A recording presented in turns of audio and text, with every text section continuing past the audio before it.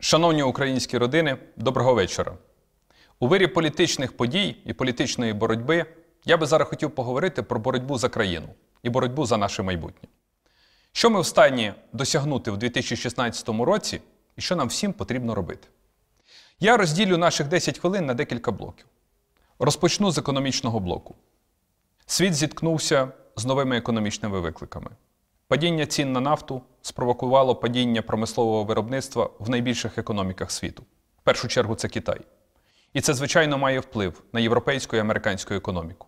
Україна є частиною глобальної економіки, і тому нам треба самим шукати виходи з цієї складної ситуації. В першу чергу, економічна стабільність це цінова стабільність. Це коли ціни не зростають галопуючими темпами. Минулого року ми зіткнулися з цією проблемою, і темпи росту інфляції були практично 45%. На цей рік ми повинні подолати галопуючу інфляцію. Ми поставили цільовий показник 12% інфляції в 2016 році. Чи здатні ми цього досягти? Так, якщо ми далі будемо проводити економічні реформи, і якщо Україна буде залишатися в програмі з Міжнародним валютним фондом. І для цього необхідно розуміння всіх політичних сил, партій, президента країни, уряду і наша єдність в тому, щоб іти по цьому шляху реформ. Окрім того, нам потрібно запустити українську економіку. А для цього необхідний ресурс. Де взяти ресурс? В першу чергу, це внутрішні джерела, внутрішні джерела з банківського сектору. Ми провели дискусію з українськими банками і Національним банком. Що потрібно малому і середньому бізнесу?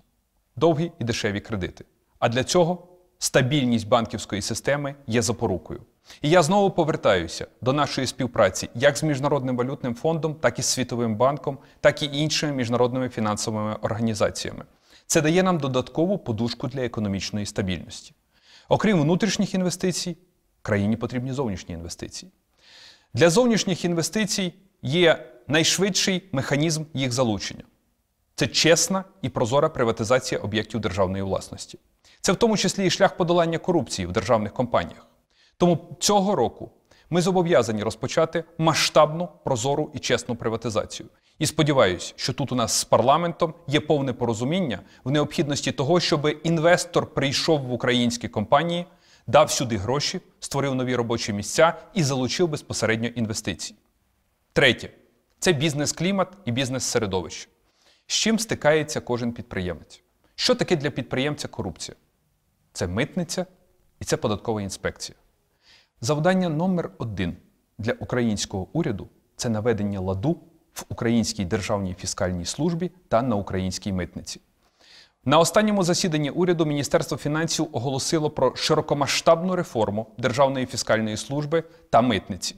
Чотири митниці будуть передані в управління іноземним компаніям для того, щоб ми побачили, як це працює в західних країнах, для того, щоб ми залучили найкращий іноземний досвід і продемонстрували всім іншим митницям високі стандарти і зразки, як обслуговувати український бізнес і як не брати хабарі.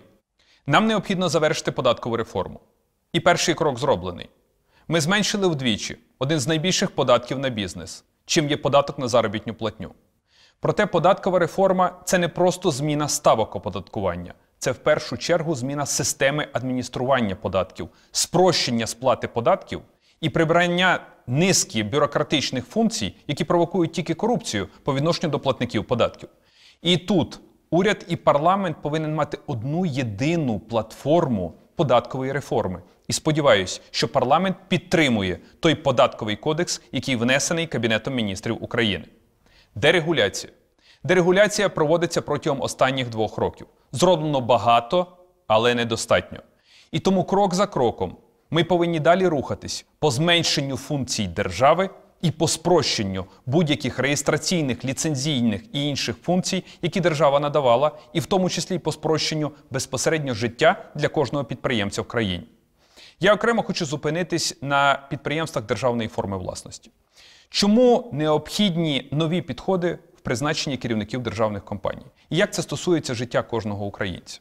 Начебто державні компанії не мають відношення безпосередньо до соціальних стандартів чи до заробітної платні кожного українця.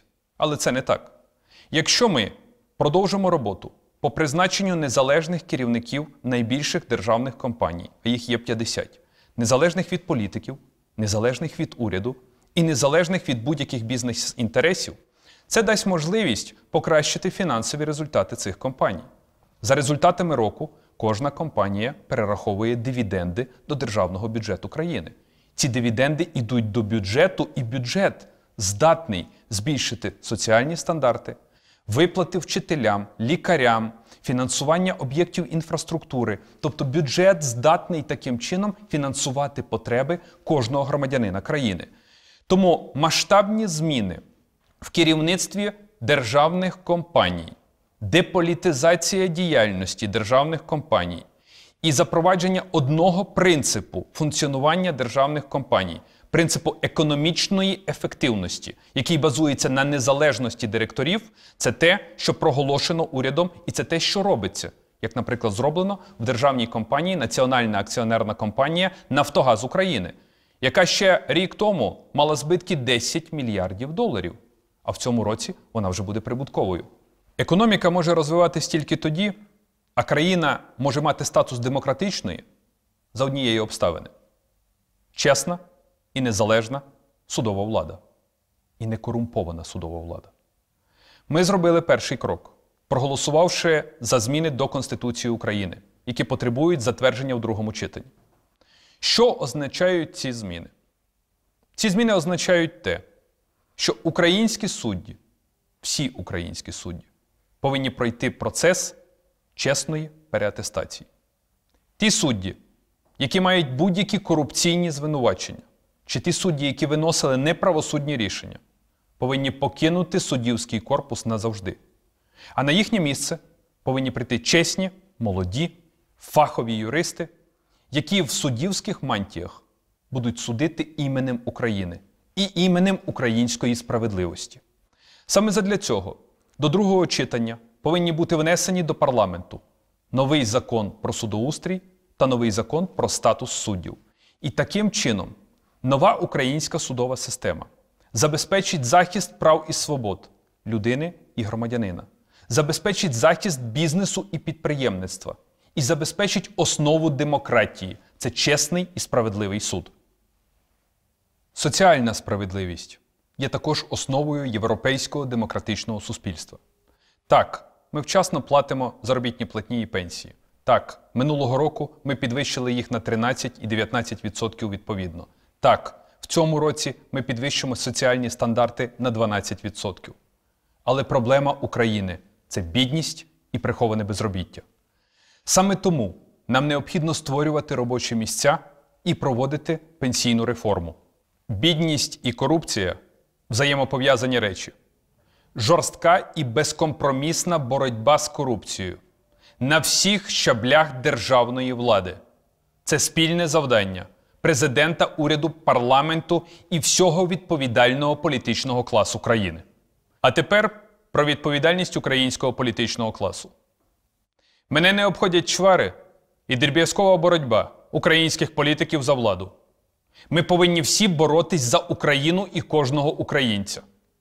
Уряд України оголосив принципи нової і чесної української політики, які підтримані країнами Великої Сімки і нашими західними партнерами. Переконаний, що на цих же принципах стоїть президент України та відповідальні політики в українському парламенті.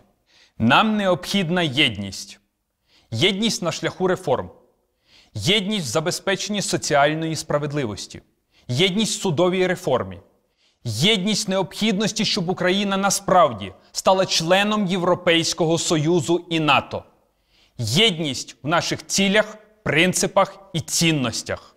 І якщо ми єдині, ми тоді непереможні.